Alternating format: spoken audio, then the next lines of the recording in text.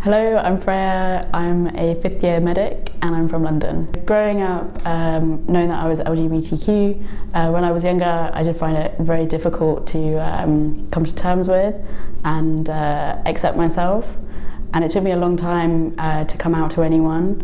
Uh, so I, I knew very, very early on when I was about 12 that I was queer in some shape or form.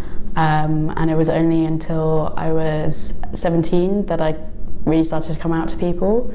Um, and when I did start to come out to people, it was like a huge weight off my shoulders. And I found that a lot of my friends were really accepting of uh, that part of me.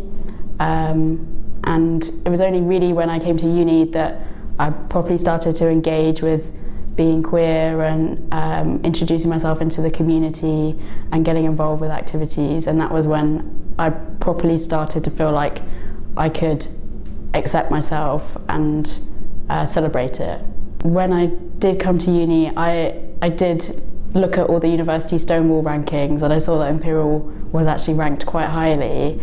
So I felt slightly more reassured that Imperial was going to be an accepting place for LGBTQ people.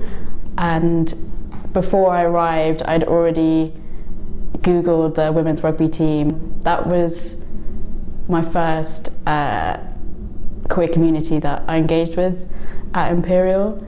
Um, and since I've been involved in other queer spaces as well, Imperial, which has been really nice. So I think Imperial is an accepting place for queer students. Um, I think now that we have all this great visibility with the rainbow lanyards uh, with staff it means it's so much easier to find people to look up to and find role models. Yeah, I think London's brilliant for queer people. I think it's great for being a student in. And there's so many communities out there that you can engage in and people will be welcoming accepting of you. My advice to students who are thinking of coming here is to not worry about uh, not being able to find your community. Uh, before I came here, I was worried about that, and uh, pretty much the first day at Freshers Fair, I found them. One, two, three!